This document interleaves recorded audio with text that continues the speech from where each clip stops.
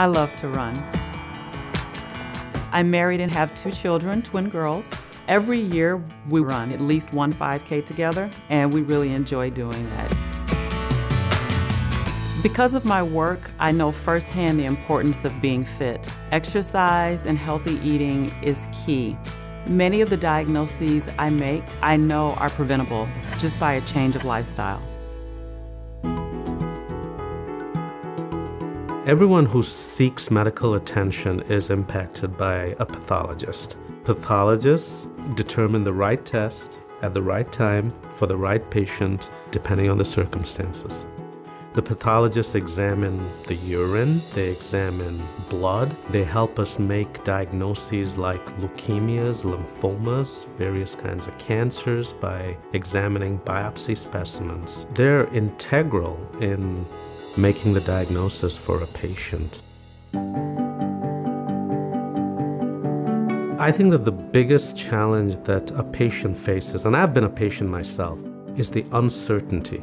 You're not sure exactly what's going on. You have all these troubling symptoms. What is wrong with me? Are there simple medications you can give me? Or will I have to undergo a horrendous set of treatments before I can get better?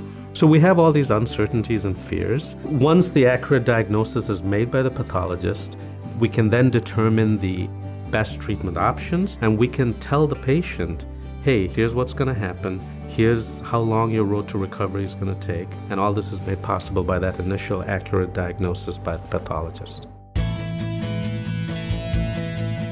I've seen firsthand the power of a laboratory diagnosis. My aunt started having symptoms as a child, and her symptoms eventually led her to a rheumatologist who was able to do a single laboratory test, which diagnosed her as having lupus. My aunt had gone her whole life with multiple medical problems, and that one single test completely changed her life. In order to be a good pathologist, I think you have to be extremely curious. You have to care about the patient, and you have to want to make a difference in the ultimate outcome for the patient. I really love pathology. When I'm looking at the slide, it's not just tissue, it's something from a patient. And knowing that it's someone's mother or someone's sister is important to me, knowing that I'm making a diagnosis that's going to impact someone's life. There's definitely a parallel between running and what I do every day.